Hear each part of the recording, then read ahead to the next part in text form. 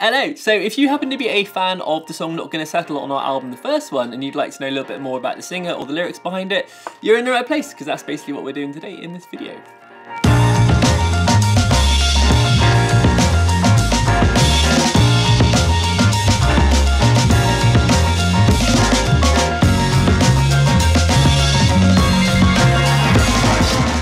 So, welcome to vlog 40, that's 4-0. I honestly, when we started out, never imagined we'd make so many videos, but I'm so glad we have and thank you guys so much for being here. Anyway, this week it's a lyrics deep dive. Um, so far we've done one with uh, Tommy Saunders, who I've known for years, and we've done one with Karen Roberts, who I've known for years. But this week I thought we'd reach out to someone that we made friends with on this project. So this week we are talking to Jenny Morrison, the awesome singer and bassist of Orlando, Florida ska punks TEF London, about her lyrics for Not Gonna Settle and uh, when we first met them and went to the house and recorded, and what the lyrics mean. Uh, it was really good fun, and just quickly, I should warn you that the studio room that we filmed in uh, is actually currently being um, decorated, so it's a complete mess. So prepare for a kind of chaos in five, four, three, so we never met before we recorded things four years ago, and we just kind of cold called you and um, turned up on your doorstep. What do you remember about that day? you know, I told you I was gonna try to remember some like this random night from from four years ago. Yeah. Uh, so it's kind of, it's kind of a blur, and we were drinking beers anyway, so it's already a little bit blurry. Uh, but I I do remember you you messaging me right or messaging us, and I happen to be the one who got it because I wake up the earliest in the band, um, and so reading that, you know, when you're in a band, you get all these messages from people all the time, people that are like you and they have some wild idea and they want to collab with you on something and they want to make music in some way or they want to do some great idea with your band. They saw you this one time at this one thing and they want to do something. So I'm like, yeah, yeah, yeah, okay, yeah. Just send over your tracks. I'll look at it. Figuring I would never ever hear from you again. like that, like that was gonna be the end of it. Like like everybody else that ever writes Tef London. Sure. And so I, I'm like, all right, yeah, yeah, just send it, whatever. And you actually sent over tracks, and then you sent over like uh, paragraphs and paragraphs of like what you wanted, and you wanted a guitar solo and like lyrics, and I was like, oh, does he know I'm a fucking bass player? and then and then I was like, oh my god, he thinks I'm gonna sing this song, and I'm like, yeah, okay. You know what though? He's in the UK. He thinks he's gonna come to the USA and come to Florida, and I'm gonna sing this song. Yeah, okay. So I put it like just kind of filed that away in my like that'll never fucking happen uh, category, and I'm pretty sure you followed up with me a couple times about it, and so man. And then you were like a week out or something and you were like all right well we're gonna be there in a week. Where where would we be going? or something like that. And so i sent you my address and i told the guys i'm like i think this guy's actually gonna come here and he wants us to we're gonna record a guitar solo and we're gonna write lyrics. And so i did. I sat down and wrote lyrics thinking okay this guy will never actually show up though. Uh, lo and behold like a couple days before you're like all right we'll be there at this time and here we are. And then uh, i told the guys i was like hey so this strange guy from the UK is coming over to my house where we rehearse. And but like I've never met him before. And so if you guys could A be here early in case he's like really creepy. And B like we need extra people here so that we outnumber them just in case they're like robbers. So I was like, okay, we just need an extra horn player or somebody to come be with us. So we had one of our horn players come. That's why there were three of us, just in case you were a burglar. And then of course, you know, you have to decide who's gonna um, pack just in case. And uh, not, you know, it's a USA thing. Anyway, yeah. uh, and so, uh, but you guys were totally cool, and you showed up with your cute little accents and you all your little people named Andy, and yeah. just, and with all this shit, and you guys parked on the wrong side of the street, and you guys were just adorable, and we had beers, and you guys camped out on the floor, and you even brought lights. Um, and uh, sang a song, or we did a guitar solo, and we were in and out, and it was we had a, a, lot of fun, and I made new friends for life, and uh, got to be a part of one of the coolest projects ever. Oh, thanks! Yeah, we had a great time. Yeah, I forgot we parked on the wrong side of the road. In fact, the wrong road as well. Um, so um, I've actually had tons and tons and tons of uh, compliments on your vocal on that song. People really love oh, it. Well, uh, t- the, the response should be, "Hey, did you know she's actually a bass player?" Like.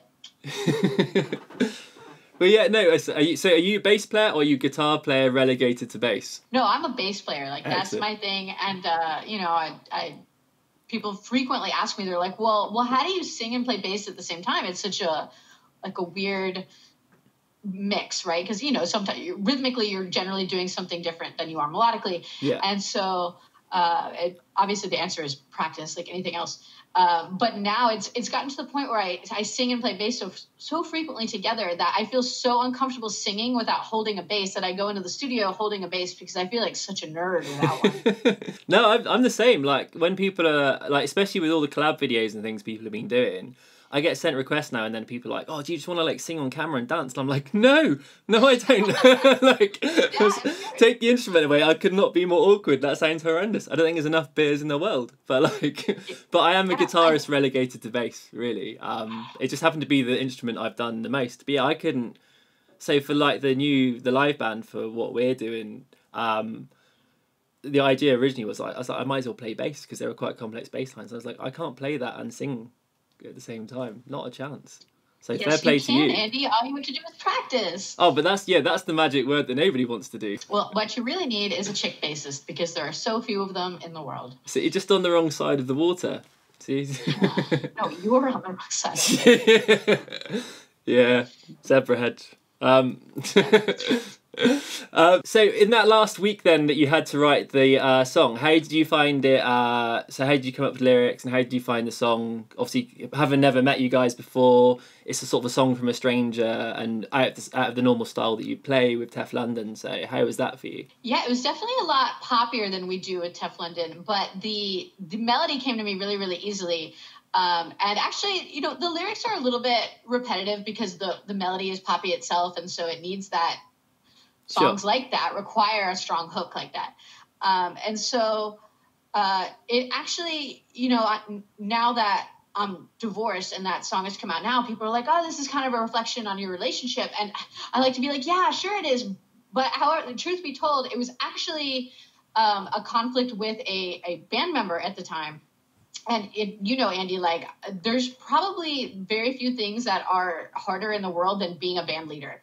Uh, because you Sure. just want to please everybody and like i have had a child. I'm a single mom. I am a teacher and an educator and i've done all these other like really complicated things and they don't even hold a candle to being a, like how hard it is to be a band leader. Um, and so it was just uh, a conflict with a, a horn player who had a lot of uh, complaints but they didn't want to do anything about it. And i was like you know what? If it, you, it makes you so unhappy then you can pack your shit man. And uh, and sometimes it just comes to that. And I didn't, of course, I would never mean that. Those these people in Tef London are my family. Sure. Um, but you know, at, it, when you're feeling emotional, um, that's part of it. And then there's also a point where like you have to stick up for yourself and your boundaries and, and who you are. And so certainly, you know, my relationship played into that too, into writing that. Um, but uh you know, our other relationships with our band members are is equally important. Sometimes it's your support system, especially if you don't have a lot of family. Sure, no, absolutely, and that's really interesting because I think, um, like when reviews, like with you know some some sort of album reviews, they try to figure out what certain songs are about. Um, when the lyrics, they actually no one ever really picked up that it was a sort of relationship song. It was always picked up as a kind of self worth song, which I really liked, and that's really interesting because I, I mean I I'd assumed the same. I assumed, um, especially as you know the your your marriage ended, that maybe it was about you know it was like a, a, a song about relationships or a song about a situation or maybe like a friend of yours that was going through something like that. Um, and so yeah i would have assumed it was a relationship thing. So that's interesting it's a band relationship. Because you're right really like my bandmates from fandangle like we haven't been a band for years properly but they're still my brothers. Like you know tom is still like one of my best friends and we all have like whatsapp groups and we talk as much as we can and yeah that's yeah they are. It's it's they're really important relationships that will like stay with you for life 100% Yeah, and it's and it's real and it's visceral and it is all those things too. It certainly um, has those significant elements of, of being about self worth and sticking up for yourself and what you believe in. Um, and you know, there's there's lines in there where you know everybody wants to give you advice. People tell you you know you're you're being too intense and things like that, which is something that. Um, maybe you don't can't relate to as much, Andy, but like I, as a woman, I get told that all the time. I'm being uh, intense or too bossy or too bitchy, and all I'm doing is drawing a boundary. Sure. But because I'm a woman, it's perceived as, as me being um, too intense, and, and people will say, "Well, that you know that scares guys away." Right when you when you act like that, and it's like, wow, really sticking up for myself can scare somebody away, but that's the person that I need to be.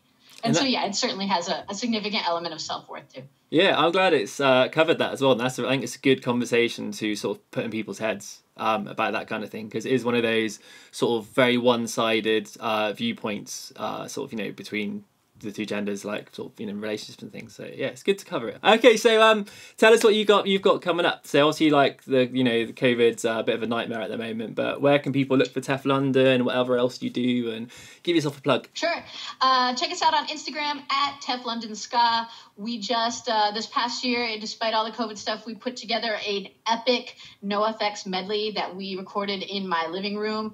Um, uh, NoFX even shouted it out. It is a really intense medley of the very best uh, NoFX songs with a four piece horn section. It's on YouTube. Just type in NoFX medley. It'll be the first big thing that comes up. You'll see us. Um, and uh, come, just like we were talking about, come write us a nasty comment about, uh, you know, girls who play bass and uh, what they can do. And uh, we're, we're ready for it. Yeah, you can knock them out of the park. So that's right. So for those that don't know, uh, NoFX did a new version of Linoleum and um, did two videos, which is uh, clips from bands that covered it from YouTube, and you guys were literally starting the second one, which was rad. Like, that is really cool. And you know, the the cooler part is, is like the you know that was, that was the one with Streetlight and stuff. So that was that was pretty cool. Nice, nice. Cool. Well, thanks so much for chatting to us. Um, thanks, Andy. Stay safe over there in Florida, and um, we'll come see you soon. We'll see you soon. Yeah. So huge thanks to Jenny for taking the time to talk to us. It was really insightful and really nice to catch up. Also, massive shout out to Angel and Aaron. The three of them made for a really welcome environment for two very weary travellers at the time. And uh, we made friends for life, like she said, which is a privilege I don't take lightly from this project. It's a really nice thing to have new friends all around the world. And we'll make more as we go, I'm sure. Anyway, that's all for this week. Hope you enjoyed the uh, lyrics deep dive. Always find them really insightful and kind of interesting when um, the meaning is something different to what we imagine sometimes and it evokes a different story to what we imagine in the first place. So that's always really good fun to delve into. Anyway, take care of yourselves, stay safe. We'll see you next week with something very, very different. Peace out. Big love.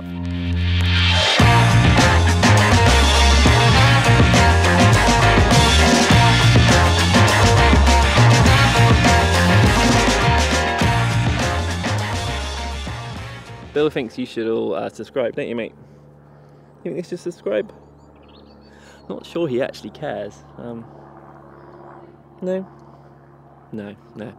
He doesn't care. But I do.